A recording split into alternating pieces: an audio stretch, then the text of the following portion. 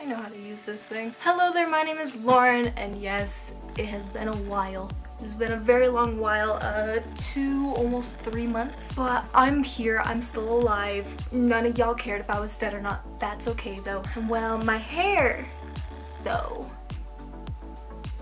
It's, it's more blonde and it's more white and it's more what I wanted the first time I tried to bleach my hair and y'all know how that went. Let me just tell you how dead my hair feels. I am so upset. Go get it professionally done, okay? This was a disaster for my hair. Yeah. So, I got my hair really like white and really how I wanted it. However, it is still kind of yellowy like um, at the roots. Like, like the toner just didn't really like cling onto my roots like how it was supposed to. But it's okay. There is a spot back here though that is like really yellow because I messed up.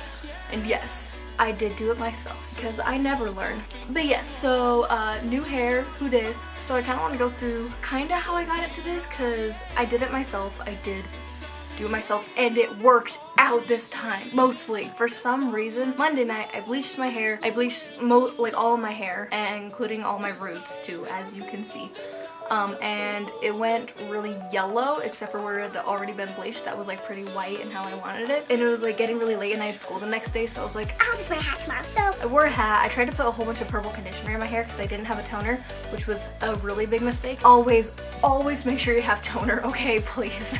I went to school Tuesday with yellowy hair wore a hat or I wore a beanie actually. And my hair looked like buttered popcorn. Like you know those uh, uh, jelly jelly beans the buttered popcorn ones, that's what my hair looked like. It legit just looked like that. And so there was like a spot back here that was like really orange because it was the last part that I put bleach on.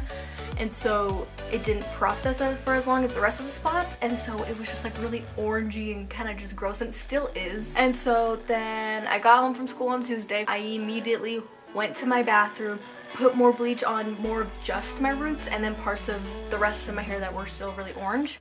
This is the bleach that I used, by the way. Okay, bye. And then after I like washed that out, it was still yellowy. I think I have a picture right here of how it looked after, um, before I toned it. And so it looks like that.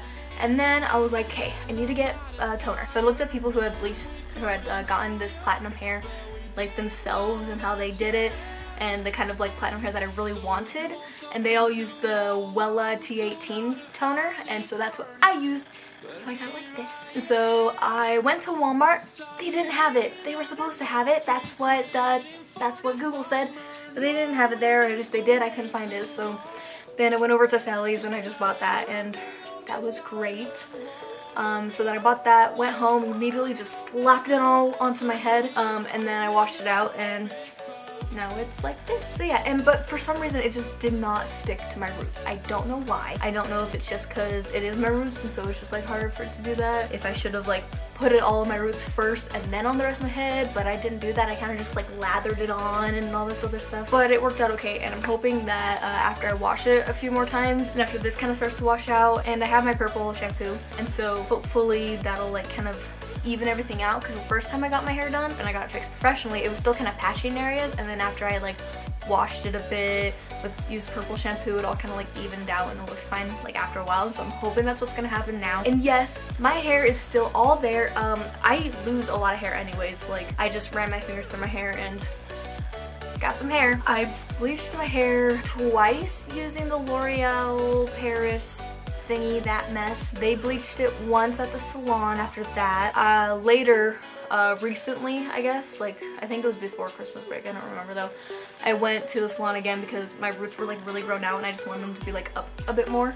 Um, and they did, they basically just did some like streaking uh, balayage type thing I didn't really like how it looked so that's why I went like full on platinum now. Which like it didn't look bad, it just wasn't like what I really wanted. And so they bleached most of my hair so that's kind of like a half. And then I bleached my whole head again um, the first time to get it like this.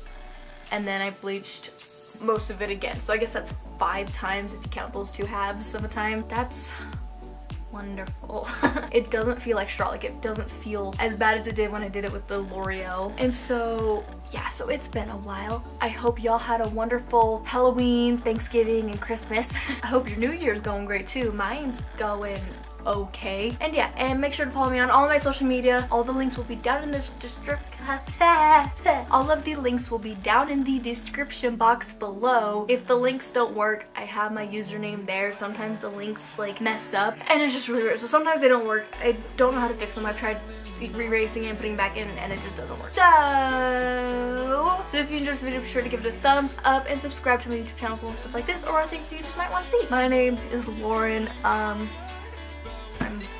white. Bye! Eh. So this is like the creepiest thing that I have. It is a, like it's like a mannequin stand type thing, but I have this horse mask or a unicorn. And like I had it like facing this way, but then my brother moved it to where it was like facing my bed. And it just really creeped me out. So then I faced it the other way and this is even more creepy because now it's just like, you know, a backwards head and that's really scary. Okay.